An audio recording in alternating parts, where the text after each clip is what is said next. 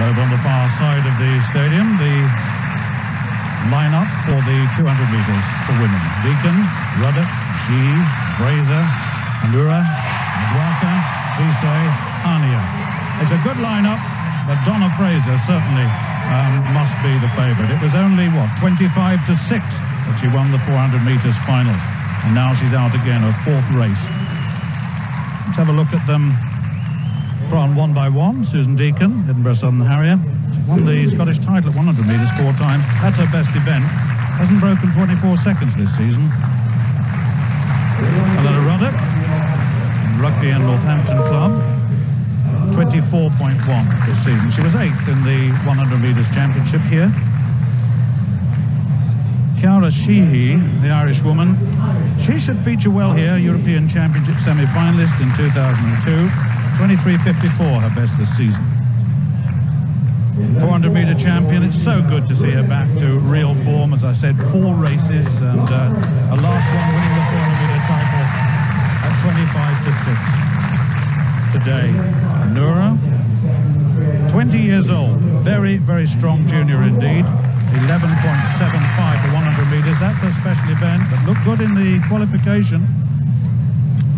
Joyce Maduaka, for me, lacking a little bit of edge at the moment. I expected her to qualify much more easily than she did for this final, and that's a nervous look. Amina Cisse, seventh in the 100 metres final here. Slow away in the qualification, strong in the finish. Arnia, better over 100 metres, the Shaftesbury Barnet Harrier, 23.74 her best. And she's got the difficult outside lane. So, the women's 200 metres final.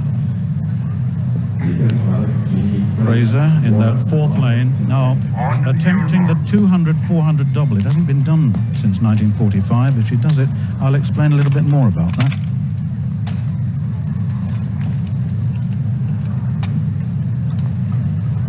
Tall, rangy, fit again, and that's good to see.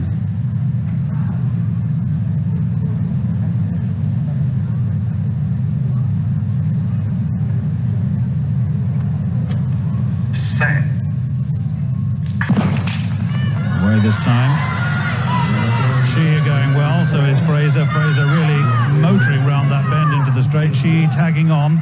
Right on the outside, uh, Maduaka going quite strongly here. But here comes Donna Fraser in the centre under a little bit of pressure. There'll be tiredness in those legs. Maduaka on the near side going well. Here comes Donna Fraser away. Fraser's got it. She in second place. Maduaka in third. 23.37. And that's her fourth race. And let me tell you, as I began by saying, this 200-400 double has not been done at this meeting since 1945, and that was a lady called Winifred Jordan, and that was when it was 200 yards and 440 yards. So that was a little bit of history, wasn't it?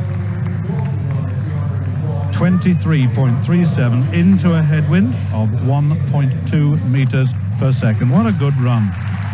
It certainly was, Stuart. I have to say that uh, when I was thinking about what she was trying to attempt here, I thought if she was going to be lacking in this race at all, it would be towards the end because of her exploits in the 400 metres. What, only about an hour ago, less than an hour. But then, at this point, with about 50 metres to go, she really started to stretch away from the rest. I'd probably suggest that she slowed down less than everybody else, and that is why she won it so well. She maintained her form wonder what the selectors will do now in terms of Commonwealth Games selection. I'm sure her number one event will still be the 400 metres. But certainly as far as the Commonwealth Games is concerned, she's got every chance perhaps of being picked for both events. But the 400 metres, I'm sure, will be favourite. And Donna Fraser completing a very, very good weekend.